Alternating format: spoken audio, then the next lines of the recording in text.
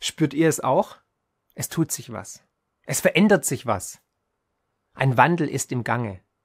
Ich meine jetzt nicht Mutter Natur und den kommenden Frühling, sondern das Narrativ um Corona gerät spürbar ins Wanken. Immer mehr Menschen fühlen sich angelogen oder auch sogar betrogen durch die Medien, aber auch durch die Politik. Nicht nur in Deutschland, weltweit. Es kommen immer mehr Fakten heraus, die vorher verschwiegen worden sind. Dahingehend möchte ich auch nochmal auf das Video zur Enthüllung zum Pfizer Report erinnern. Gerne anschauen. Wir sehen, wie weltweit Menschen friedlich auf die Straße gehen und protestieren gegen die Maßnahmen, gegen die Einschränkungen. Denn das neueste Hobby der Deutschen ist es, Montagabends spazieren zu gehen. Und während bei uns immer noch Panik gemacht wird, sehen wir, wie andere Länder zurückrudern und alle Corona-Maßnahmen beenden, wie zum Beispiel England, Irland oder Tschechien, die die Impfpflicht für die über 50-Jährigen einfach mal so eingestampft haben. Wir sehen aber auch, wie die Politik sich immer mehr in Widersprüchen verhakt und wie immer mehr die Wahrheit ans Licht kommt. Wir sehen ein komplettes Chaos, wenn es um die Maßnahmen der Corona-Politik geht. Da blickt keiner mehr durch. Und in England wurden Zahlen veröffentlicht, die es wirklich in sich haben, nämlich es sind achtmal weniger Menschen an Corona gestorben als gemeldet. Statt 137.000 sind offiziell nur 17.000 an Corona verstorben. Das alles heute hier im Video. Ein wichtiger Rundumschlag wieder mal, weil es ist so viel passiert. Ihr wisst ja selber, die Situation eskaliert stetig und jeden Tag könnte man eigentlich über Corona sprechen. Und deshalb ist es heute wieder Zeit für einen Rundumschlag über die wichtigsten Veränderungen und natürlich Neuigkeiten zum omnipräsenten Thema der Corona-Krise. Und damit herzlich willkommen zu einer neuen Folge Finanzielle Intelligenz. Mein Name ist Marc Friedrich von der Honorarberatung Friedrich und Partner Vermögenssicherung.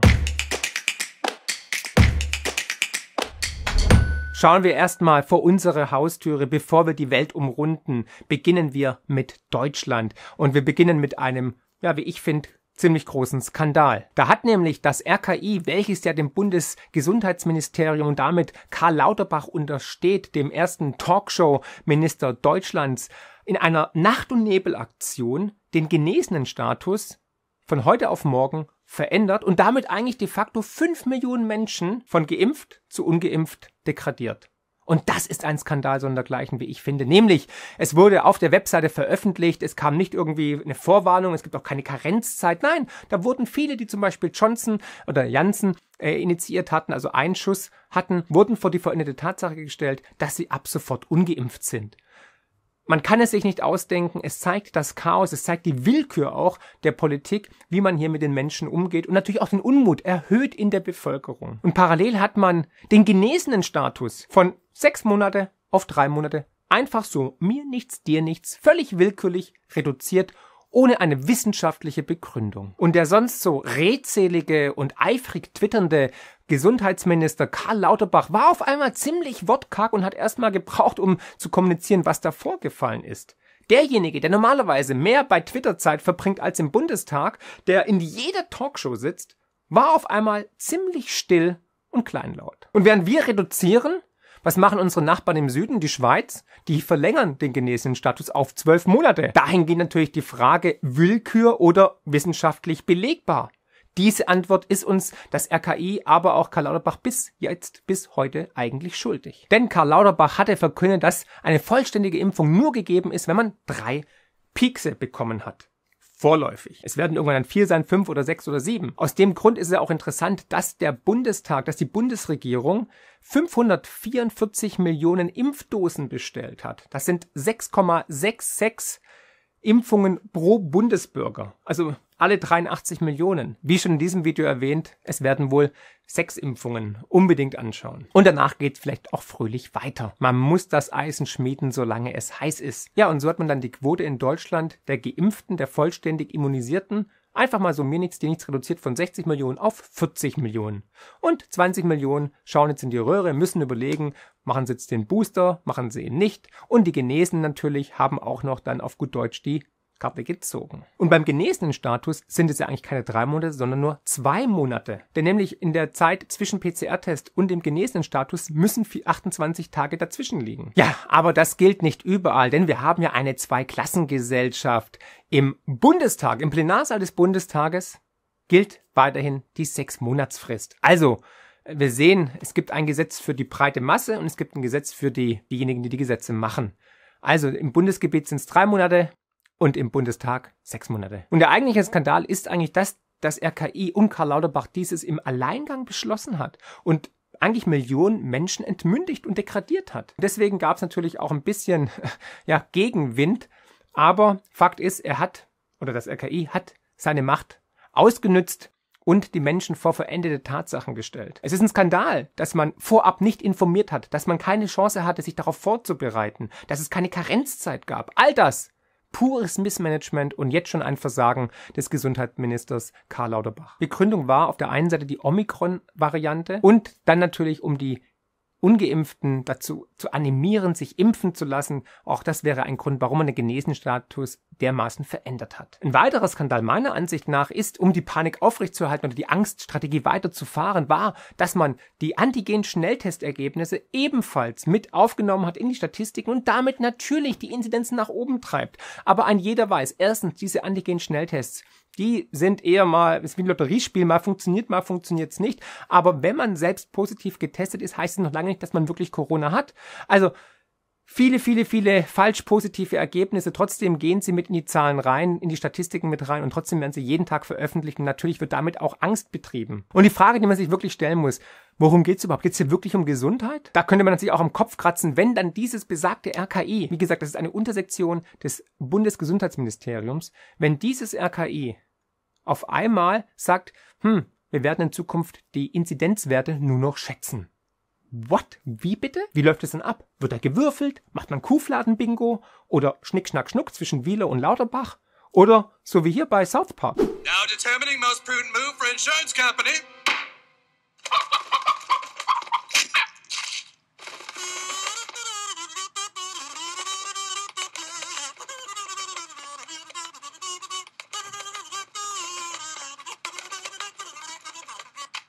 Man kann es sich nicht vorstellen. Absolutes Chaos und Missmanagement. Und damit hat die RKI eine absolute Machtstellung. Sie kann nämlich dann über die Statistiken, über die Schätzwerte natürlich bestimmen, wohin die Reise geht. Und natürlich verlieren die Menschen immer mehr Vertrauen in die Aussagen der Politik, in die Maßnahmen der Politik. Zum Beispiel hier. Der Bayerische Rundfunk schreibt, sind Sie bereits geimpft, doppelt geimpft oder auch schon geboostert?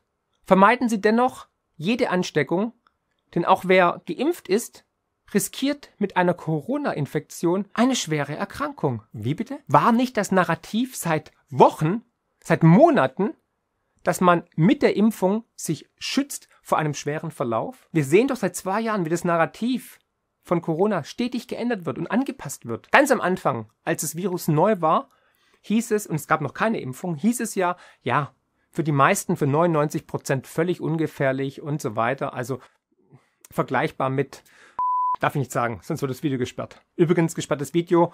Dazu habe ich ein Video gemacht, wieso das Video gesperrt wurde. Und dieses Video findet ihr natürlich mit Dr. Karl auf Odyssee. Tatsache ist doch, dass immer wieder was Neues gesagt wird. Dann hieß es irgendwann, mh, hm, ja, also wenn ihr euch impfen lasst, dann seid ihr fein raus und ihr könnt zurück in die alte Welt, ihr kriegt eure Freiheitsrechte zurück.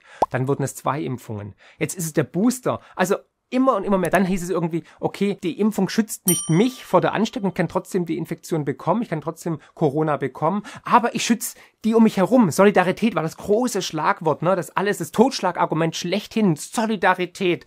Ja, weil dann schützt ihr die Vulnerablen, dann schützt ihr diejenigen, die ungeimpft sind. Die Ungeimpften wurden dann aber irgendwann die Bösen. Also, ihr seht, Divide et Impera, teile und herrsche und jede Woche wird eine neue Sau durchs Dorf getrieben. Ja, und zuletzt hieß es ja, die Impfung schützt vor einem schweren Verlauf. Bei einer Krankheit, die bei 99 Prozent sowieso völlig harmlos abläuft und das zeigen ja auch die, die Daten und die Fakten, dass ähm, alle eigentlich, die gesund sind, ohne Vorerkrankung, nicht sterben. Dazu werde ich auch nachher dann nochmal ein paar Fakten und Informationen, die neu sind, euch mitteilen. Interessant ist auch die Stellungnahme der wissenschaftlichen Fachgesellschaft DGKH zur Krankenhaushygiene, nämlich bezüglich der Masken. Und sie empfehlen ganz klar, FFP2-Masken sollten nur von Fachpersonal getragen werden. Und nicht von Kindern in der Schule acht Stunden lang oder von dir oder mir. Und wir sehen ja, dass viele, die geimpft sind, trotzdem Corona bekommen. Viele, die in einer Partnerschaft sind, wo der eine oder die eine geimpft ist und der andere ungeimpft ist und beide dann Corona bekommen, dass es die gleichen Verläufe sind. dass nicht der Ungeimpfte ins Krankenhaus muss. Wir sehen ja, dass auch Ungeimpfte geschützt sind anscheinend. Oder wenn genesen, dass sie dann überhaupt keine Gefahr mehr laufen, ähm, nochmal an Corona zu erkranken. Also wir sehen immer mehr, bricht die Wahrheit ihren Weg, kommt die Wahrheit ans Licht. Und die Menschen haben auch ein bisschen, ja, erkannt, dass es doch nicht das Todes-Killer-Virus ist, wie es uns vorgegaukelt wurde. Und das ist gut so. Aber kommen wir mal zum Spazierengehen. Was ja gut ist, man sollte ja rausgehen an die frische Luft. Das ist wichtig für Vitamin D, Bewegung, Sauerstoff, Gesundheit, Glücksgefühle, Endorphine und so weiter. Aber unser Bundespräsident, Herr Steinmeier, hat jetzt gesagt, der Spaziergang hat seine Unschuld verloren. Dahingehend, ich kann nur sagen, Spazieren hält gesund und fit. Und wichtig ist, ein friedlicher Protest gegen die rigorosen, willkürlichen und auch kopflosen Maßnahmen dieser Bundesregierung. Und ich kann nur jeden animieren, seinem Frust freien Lauf zu lassen, indem er friedlich, das ist ganz wichtig, friedlich, weil alles andere wird gegen die Demonstrationen dann oder gegen die Aussagen derjenigen, die gegen diese Einschränkungen sind, verwendet werden natürlich. Und deswegen nicht provozieren lassen, friedlich, immer friedlich sein und keine Angriffsfläche bieten. Wichtig fand ich dann auf jeden Fall hier den Hinweis, ich glaube in Dresden war es nämlich das stadtweite Verbot von maßnahmekritischem Klientel. Hm, also man ist nicht mehr Bürger, man ist jetzt maßnahmekritisches Klientel. Ja, und das Narrativ wankt auch dahingehend, weil anscheinend laut den Statistiken vor allem, je, vor allem diejenigen Omikron bekommen, die neue Variante bekommen, die viel milder ist, die in Südafrika nicht mehr verfolgt wird und die zu keinem Lockdown geführt hat in Südafrika, aber zu uns zu absoluter Panik gesorgt hat, dass vor allem ein Großteil der Geimpften und Geboosterten an Omikron erkranken. 81 Prozent laut den Zahlen des RKI. Und mir ist es heute wichtig, euch die Daten und Fakten darzulegen, die man im öffentlich-rechtlichen, im Mainstream eben nicht so hört. Israel, ne, die sind ja jetzt schon bei der vierten Impfung. Und das Land mit der höchsten Impfquote ist auch das Land lustigerweise mit einer der höchsten Inzidenzquoten. Also trotz Rekordimpfungen sieht man jetzt auch Rekordfälle. Und zwar so hoch wie noch nie in Israel. Und es ist ja jetzt schon allgemein gut, dass wir wissen, dass die Impfung eine Halbwertszeit hat. Trotzdem möchte man in Deutschland eine Impfpflicht ausrufen, weil es könnte ja dann im Herbst ein neues ja, Virus kommen, eine neue Variante und dann wäre es doch gut, wenn man gegen diesen neuen, gegen dieses neue Virus geschützt ist. Aber anscheinend hilft ja die jetzige Impfung nicht mal gegen Omikron und Pfizer arbeitet schon mit Hochdruck an einem neuen Impfstoff. Also wir sehen, es ist einfach meiner Ansicht nach Willkür und eine Art Aktionismus. Ja, und die Begründungen werden auch immer abstruser warum man eine Impfpflicht einführen möchte. So hat zum Beispiel der Ministerpräsident von Rheinland-Pfalz, der Herr Wüst, gesagt, ja, es geht um Solidarität. Man müsste jetzt auch denjenigen, die sich jetzt seit Monaten, seit Jahren an die Maßnahmen gehalten haben, die sich haben impfen lassen, die in Quarantäne waren, das waren auch übrigens die Genesen oder auch die Ungeimpften und so weiter, dem müsste man jetzt ein Zeichen geben, ein Signal geben, dass jetzt es nicht alles umsonst war. Das ist jetzt der Grund. Es geht nicht um Gesundheit. Es geht nur darum, zu sagen, Leute, wir haben euch nicht verarscht. Also die Impfpflicht als ein Zeichen an die Geimpften. Und was ist Sinn und Zweck Ihrer Impfpflicht, die Sie Sinn und wollen? Zweck, Sinn und Zweck ist, dass wir den Menschen signalisieren können, die alles getan haben in den letzten zwei Jahren, die sich haben impfen lassen, die vorsichtig waren, die sich testen lassen, die die Maske tragen. Jetzt sind die anderen dran, die sich bisher geweigert haben, damit wir alle gemeinsam wieder ein Stück mehr Normalität kriegen. Schritt für Schritt, Stopp. aber ganz sicher im nächsten Winter nicht wieder zurück in den Lockdown. Das habe ich jetzt nicht richtig das verstanden. Das ist ein Zeichen an die Geimpften. An die Geimpften und es dient nicht dazu, die Ungeimpften. Das genau ist das Zeichen an die Geimpften, dass jetzt mal diejenigen dran sind, die sich bisher geweigert haben. Mhm. Das ist das, äh, was uns, glaube ich, alle eint, dass wir inzwischen ein verdammt schlechtes Gewissen haben müssen gegenüber denjenigen, die alles getan haben, einmal geimpft, zweimal geimpft, geboostert, die immer noch vorsichtig sind, aus Rücksichtnahme auf die Nicht-Geimpften. Und jetzt müssen wir uns bitte mal liebevoll um die nicht-Geimpften kümmern und nach verstanden. Lage der Dinge. Um was geht's wirklich? Geht's um die Gesundheit oder geht's vielleicht doch eher wieder, wie immer, voll the money, um Geld? Ist ja auch witzig oder interessant, dass die Parteitage der Parteien, egal ob SPD, CDU oder FDP, teilweise auch von Pfizer gesponsert worden sind. Das Gute übrigens bei diesen, bei dieser Art der verdeckten ähm, Parteienfinanzierung ist nämlich, dass diese Zahlen nicht veröffentlicht werden müssen. Wenn jemand oder wenn ein Unternehmen eine Parteifinanzierung, eine Parteispende abgibt, dann muss es registriert werden. Aber wenn hier so ein Stand oder so ein Plakat oder so ein Parteitag einfach mal finanziert wird, dann könnte man auch völlig überteuert sagen, okay, komm, ihr stellt hier den Stand hin, wir machen ein bisschen Werbung für Pfizer oder Microsoft war auch dabei oder wer auch immer, wir zahlen 500.000 Euro oder vielleicht sogar 5 Millionen oder mehr, wer weiß. Und es muss nirgends irgendwo registriert werden, es wird nirgendwo veröffentlicht, keiner weiß, wie hier die Machenschaften sind. Aber wenn man hier sieht, beim SPD-Parteitag zum Beispiel, da hat ja die, die Fahne schon fast gar nicht mehr gereicht, dieser, dieser Aufsteller, um die ganzen Firmen unterzubringen. Die Frage ist, für wen regiert die Politik? Macht die Politik für die Menschen da draußen oder für die Sponsoren? Schauen wir uns mal noch kurz England an. England hat da jetzt die Maßnahmen beendet. Gut, das mag vielleicht auch sein, weil Boris Johnson zu viel gefahrt hat, wild getanzt hat und im Garten irgendwelche Partys geschmissen hat. Aber Fakt ist, Karl Lauterbach wurde bei Lanz gefragt, warum denn in Großbritannien die Maßnahmen beendet werden und bei uns nicht. Und seine Antwort war, weil die Impfquote in Großbritannien höher ist als bei uns. Deswegen könnten die hier jetzt die Maßnahmen beenden. Schauen wir uns mal die Zahlen an und siehe da, unser Gesundheitsminister kennt die eigenen Zahlen nicht. Großbritannien hat nämlich eine niedrigere Impfquote als Deutschland. Wir stehen bei 73 Prozent und die bei 71,4 Prozent. Also die Impfquoten sind nahezu identisch. Frage ist jetzt, wirkt die Impfung auf der Insel anders als auf dem Festland in Europa oder verwenden die andere Impfstoffe? I don't know, was er damit gemeint hat. Und er ist ja ein ganz starker Verfechter für die Impfpflicht ab April, ab Mai. Und ein Argument muss man sich wirklich festhalten, dass er gebracht hat, oder eine Aussage zur Impfpflicht war ja, dass diese Impfpflicht dann ja freiwillig wäre. Sein O-Ton war, es wird ja niemand gegen seinen Willen geimpft. Selbst die Impfpflicht führt ja dazu, dass man sich zum Schluss freiwillig impfen lässt. What? Und sein Ministerium musste natürlich dann gleich mal erklären, was er damit gemeint hat und ja, kein Spaß. Und äh, wie gesagt, das äh, Bundesgesundheitsministerium hat sich meiner Ansicht damit komplett eigentlich der Lächerlichkeit preisgegeben. Sie sagen, er meinte damit eigentlich, dass man sich dann freiwillig entscheiden kann, bei welchem Arzt man sich impfen kann. Och, danke schön, das ist aber nett. Da muss man nicht zum ähm, Amtsarzt gehen, sondern man kann frei entscheiden. Und nochmal, wir reden von einem Impfstoff, der nachweislich eine Halbwertszeit von wenigen Wochen oder Monaten hat und wo die Nebenwirkungen überhaupt nicht erfasst sind. Wir sehen die Zahlen bei der Europäischen Arzneibehörde, wir sehen, wie Nebenwirkungen, Effekte, wir sehen, wie äh, immer mehr ansteigen, wie die gemeldet werden, wir sehen, wie Sportler an Herzmuskelerkrankungen erkranken, ob es am Impfstoff liegt oder an der Corona-Erkrankung, sei mal dahingestellt, aber sie haben sich impfen lassen, haben aber trotzdem eine Corona-Erkrankung.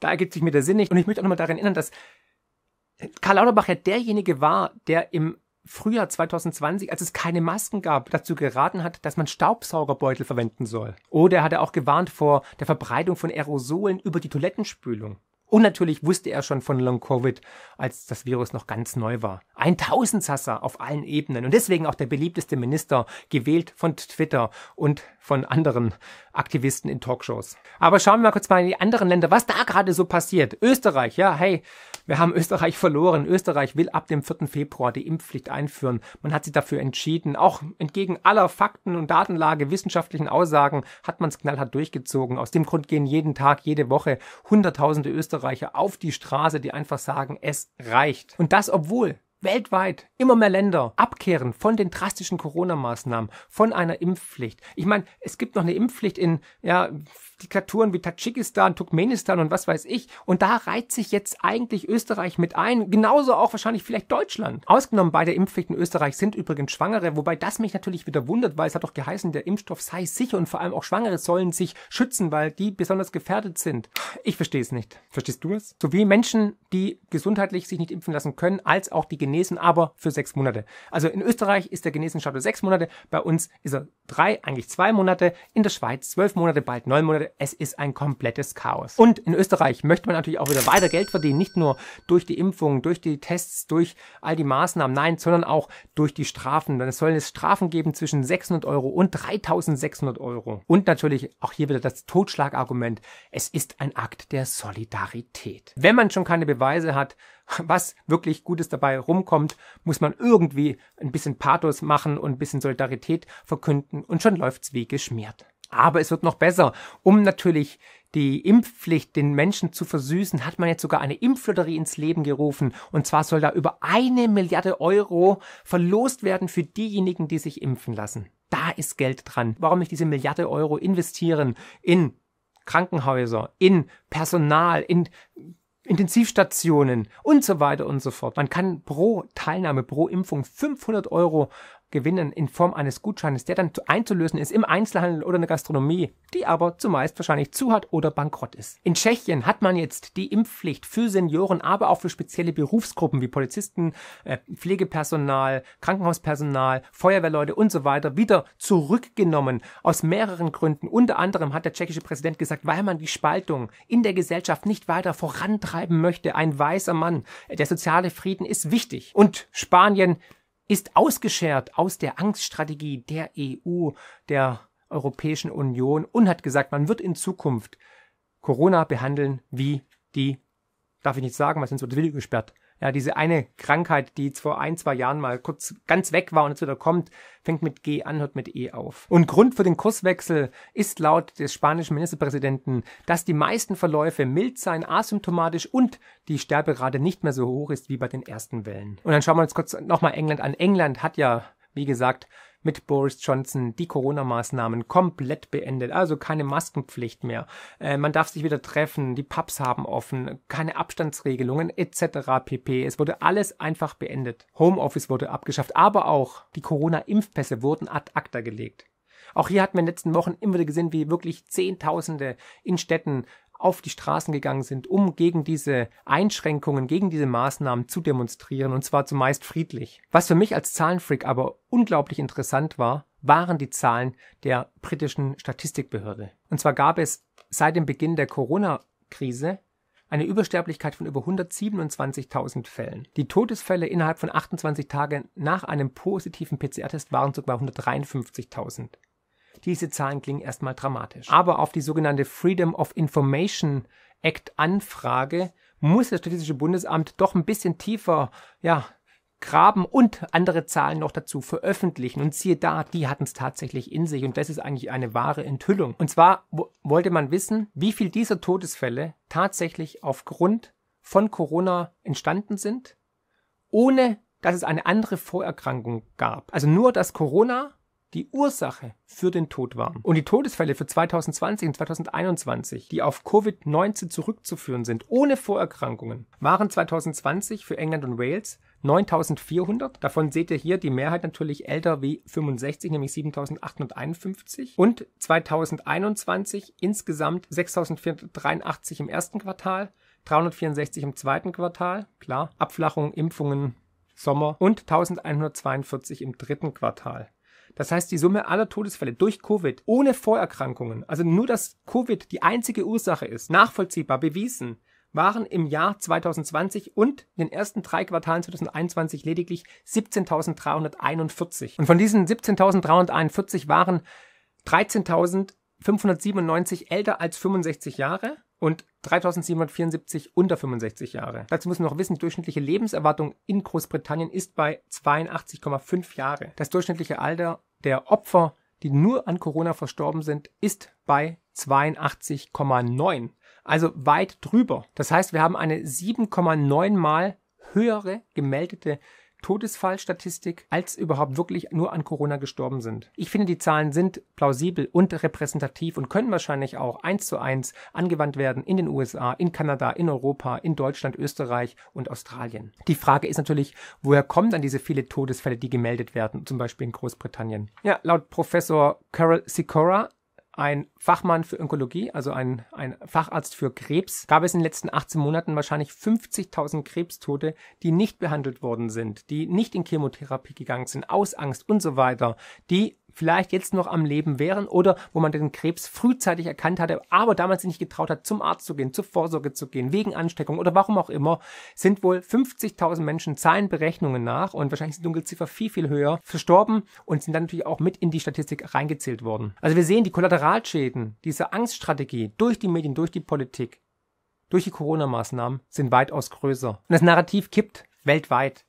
Israel, ich habe es vorhin schon erwähnt, hat jetzt schon eigentlich die vierte Impfung parat, beziehungsweise verimpft schon die vierte Impfung, hat eine sehr hohe Impfquote, trotzdem sehr, sehr hohe Zahlen. Und wenn wir gucken zum Beispiel in die Heimat von Omikron, da sind nur 27 Prozent der Bevölkerung geimpft, hat viel niedrige Inzidenzzahlen als Israel. Also wie viel Zahlen braucht man noch, um zu bemerken, dass hier etwas gewaltig aus dem Ruder läuft? Und apropos Israel, einer der führenden Molekularbiologen und Immunologen Israels, Professor Ehud Kimron. Und dieser Fachexperte hat einen offenen Brief, einen kritischen Brief an die israelische Gesundheitsbehörde und an die Politiker geschrieben, in dem er sich wirklich kritisch mit den Maßnahmen äußert. Und seine Kritik trifft nicht nur für Israel zu, sondern eigentlich für alle Länder, die jetzt in diesem Corona-Wahnsinn gefangen sind. Und deswegen möchte ich es euch nicht vorenthalten. Es ist Zeit, Versagen einzugestehen. Am Ende wird immer die Wahrheit ans Licht kommen. Und die Wahrheit über die Coronavirus-Politik beginnt sich zu enthüllen. Wenn die destruktiven Konzepte eines nach dem anderen zusammenbrechen, bleibt nichts anderes übrig, als es den Experten zu sagen, die das Management der Pandemie leiteten. Wir haben es ihnen gesagt. Zwei Jahre zu spät erkennen sie schließlich, dass ein Atemwegsvirus nicht besiegt werden kann und dass jeder derartige Versuch zum Scheitern verurteilt ist. Sie geben es nicht zu, weil sie in den letzten zwei Jahren fast keine Fehler eingestanden haben. Aber im Nachhinein ist klar, dass sie in fast allen ihren Handlungen kläglich gescheitert sind. Und selbst die Medien haben bereits Mühe, ihre Scham zu vertuschen. Sie haben darauf bestanden, jeden Rückgang einer Welle ausschließlich ihren Handlungen zuzuschreiben. Und so haben sie durch falsche Propaganda die Pest überwunden. Und wieder hast du es besiegt. Und wieder und wieder und wieder. Sie wollten trotz der Beobachtungen nicht zugeben, dass die Geimpften ansteckend sind. Darauf aufbauend hofften sie, durch Impfung eine Herdenimmunität zu erreichen und sind daran gescheitert. Sie haben sich geweigert, die von mehr als 60.000 Wissenschaftlern und Medizinern unterzeichnete Barrington-Erklärung oder andere Programme des gesunden Menschenverstandes anzunehmen. Sie haben sich dafür entschieden, sie lächerlich zu machen, zu verleugnen, zu verzerren und zu diskreditieren. Die Wahrheit ist, dass sie das Vertrauen der Öffentlichkeit in sie auf einen beispiellosen Tiefpunkt gebracht und ihren Status als Quelle der Autorität untergraben haben. Die Wahrheit ist, dass in den letzten zwei Jahren hunderte Milliarden Scheckel vergeblich verbrannt haben für die Veröffentlichung von Einschüchterungen, für ineffektive Tests, für zerstörerische Lockdowns und für die Störung des Alltags. Sie fördern auf beispiellose Weise eine drakonische Politik der Diskriminierung, der Verweigerung von Rechten und der Auswahl von Menschen, einschließlich Kindern für ihre medizinische Wahl. Eine Auswahl, die jeder epidemiologischen Begründung entbehrt. Ein wahrer und wichtiger Brief. Und dass das Narrativ tatsächlich bröckelt, sieht man auch an der Kehrtwende von Markus Söder, dem Ministerpräsidenten von Bayern, der auf einmal ganz versöhnliche Töne hervorbringt und ja, sagt, wir müssen jetzt lockern und wir müssen jetzt was anderes machen und wir können es den Menschen nicht mehr zumuten und so weiter. Oder auch der Corona-Hardliner Drosten, dem sein PCR-Test ja weltweit angewandt wird. Ähm, ja, lustig, aber anderes Thema. Ähm, sagt ja, dass die Pandemie bis zum Ende des Jahres vorbei ist. Auch in Deutschland sind anscheinend bis zu 20 Prozent nicht an Corona gestorben. Der Kassenarztchef Andreas Gossen, der zuständig ist für 100.000 Kassenärzte, hat ganz klar gesagt, dass man der Impfpflicht nicht nachkommen wird und hat sich damit ganz deutlich gegen eine Impfpflicht positioniert. Sein O-Ton war, wir werden unseren Ärzten nicht zumuten, eine Impfpflicht gegen den Willen der Patienten zu exekutieren. Ja, warum drückt jetzt Herr Lauterbach so auf die Tube mit der Impfpflicht? Hat er Angst, dass die viel mildere und ungefährlichere Omikron-Variante jetzt eine Grundimmunisierung, eine Herdenimmunität, eine wahre Herdenimmunität in der Bevölkerung verursacht. Die Zahlen sprechen dafür. Wir sehen viel mildere Verläufe.